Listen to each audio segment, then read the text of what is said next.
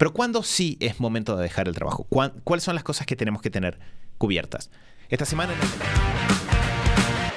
Esos negocios, los negocios que nos permiten realmente construir una buena vida, requieren mucha más cabeza, mucha más energía que simplemente decir dejo y hago esto para ganar algo de dinero.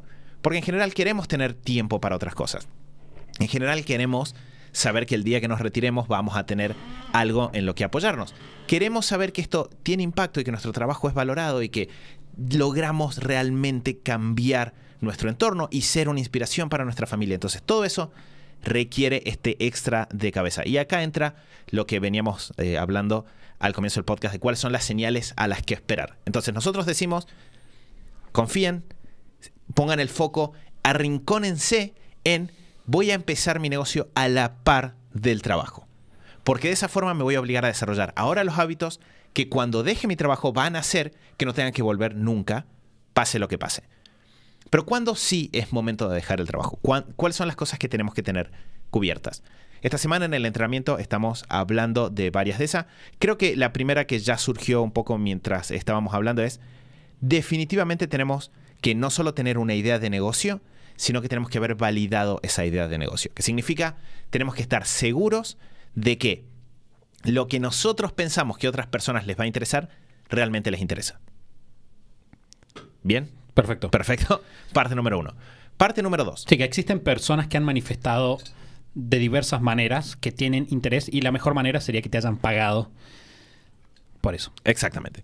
Parte número dos, estamos hablando de que queremos un negocio que dure en el tiempo, que perdure en el tiempo. Lo que necesitamos para eso es asegurarnos de que nuestro negocio se diferencia de otros negocios que están ahí afuera. Mencionamos medio al pasar, pero no es menor esto de que te paguen lo que vos estás convencido de que tu trabajo vale.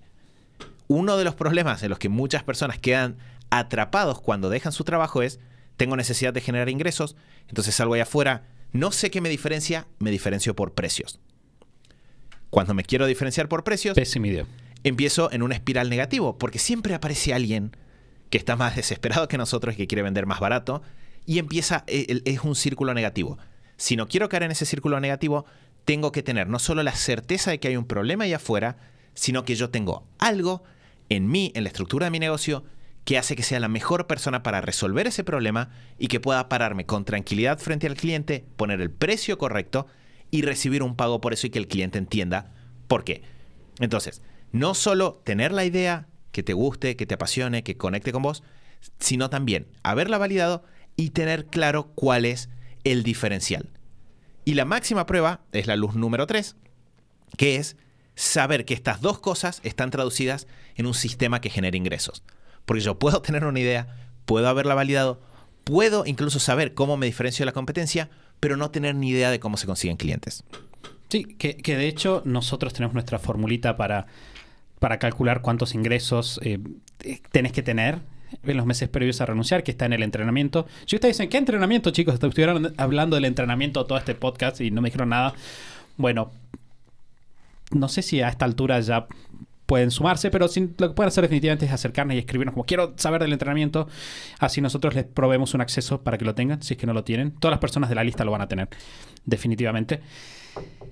Y más allá de, de ese punto, la mayor parte de los emprendedores de INMT que dejan sus trabajos tienen muchos clientes previos. No es como, ah, ok, tuve tres ventas, salgo, sino que han encontrado formas y hay formas, no importa lo que quieras hacer, y eso estoy siendo bastante categórico, no importa cuál sea tu idea de negocio, hay forma de que tengas clientes antes de renunciar. Entonces, para ellos, que es algo que Matita menciona en el entrenamiento, cuando llega el momento de renunciar, es muy diferente la seguridad que vos tenés al renunciar cuando ya vendiste lo que haces, ya tenés la experiencia, ya tuviste varias iteraciones de clientes, es muy, muy diferente a cuando vas a salir a ver qué pasa. Exacto.